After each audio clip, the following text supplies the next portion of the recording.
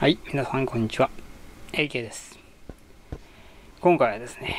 梶原一騎三大アニメを語りたいと思います。梶原一騎三大アニメと言いましても、1960年代後半から1970年代の最初にかけて人気のあったスポコン漫画のアニメ化、その三大アニメを語りたいと思います。まず一つは巨人の星、そしてもう一つは明日のジョー、またもう一つの梶原一騎の原作としてタイガーマスクもありました。この梶原一騎三大漫画はスポコンブームとともに全てアニメ化されました。そのアニメ化によってさらに人気を得たわけですが、各作品を読み上げていきたいと思います。巨人の星は1966年から1971年まで週刊少年マガジンに連載されました。その後東京ムービーによって読売テレビ制作で1968年から1971年まで放映されました。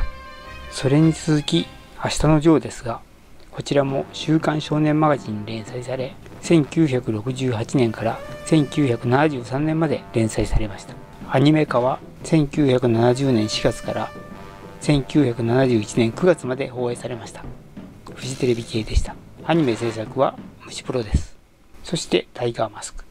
タイガーマスクは1968年から月刊僕らに連載され始め、週刊僕らマガジンを経て、最終的には少年マガジンで1971年連載が終わりました。テレビアニメの方は東映動画が制作し、読売テレビ系で1968年10月から1971年9月まで放映されました。この3作品、実はそれぞれの最終回のあり方が違っています。くしくも最終回が全ての作品1971年9月に終えております。スポコンブームの終了とも言える一気に梶原原作が終わった形になりました。その最終回の終わり方が各作品でみんな違うんですよね。まず巨人の星。巨人の星は最終回を迎えるにあたって原作とほぼ同時進行毎週毎週同じような形で進行されていきました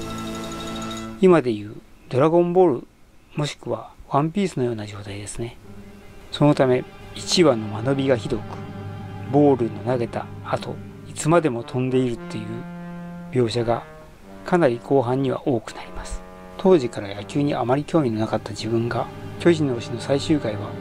一応テレビで見さらに原作もマガジンで追っておりました。ほぼほぼ同じように同時に終了したわけです、まあ、最終回本当に見たかどうかちょっとスペクトルマンが裏番組だったんでしっかりと覚えてはいないんですが多分自分たちの地域ではスペクトルマンが違う時間帯に移動したため巨人の星を見れたんだと思います。そしてもう一つ同じように最終回を迎えた明日のジョー。明日のジョーは原作に追いついた時点でオリジナルの話をつけてある程度伸ばしていくんですが結局もう間に合わなくなって完全に追いついてしまいました。カーロス・リベレ戦を最後にジョーがどっかへ去っていくという形で最終回を迎えました。そして1980年に「明日のジョー2」という形で続編が作られ布施面倒さまでを描きました。明日のジョーの後半で土佐回りの部分が2では全くカットされてしまいカーロス・リベレ戦を迎える形になります。それに対してタイガーマスクは原作よりも先にアニメの方が最終回を迎えます。そのため完全にテレビアニメはオリジナルストーリーで展開され最後にタイガー・ザ・グレードと戦って正体を明かして日本から去っていくという形で最終回を迎えました。しかし原作の方は虎の穴に乗り込んで虎の穴を崩壊させその後伊達直人は交通事故に遭ってマスクを川に投げ捨てそのまま絶命してしまうという悲しい最終回を迎えました。この3作全部が1971年9月に終わりを迎えたわけですがそれぞれの最終回のあり方が全然違っていてとても興味深かったです。当時として自分たちは漫画を見ながらさらにテレビとの違いを目の当たりに感じたのでした。今見返せば何とも不思議な感じですが当時は本当にハラハラドキドキとしながら見た覚えがあります。全てが週刊少年マガジンということでほとんどまとめて読めるんですが実際には明日のジョーはかなり遅れて終わるわけでアニメが完全に先行して終わる形になりました。このように梶原三大アニメは最終回を別々の方法で迎えるのでした。タイガーマスクはオリジナルのエンディングを迎える。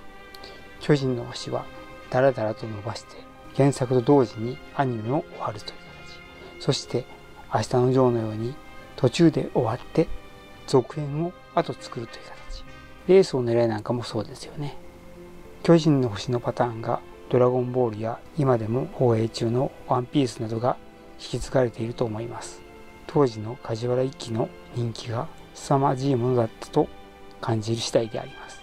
ただ同時に全て終わってしまうというのがすごいところですね。空手バカ時代も同じように原作に追いついて最終回を迎えたわけですが空手バカ時代に関しては完全なオリジナルが多くて原作とは違う形で進行していましたのである意味オリジナルストーリーだったのかもしれません。ただタイガーマスクのように原作よりもテレビのオリジナルアニメの方が数段かっこよく感動的に終わったのは言うまでもありません。東映動画の素晴らしいところだと思います。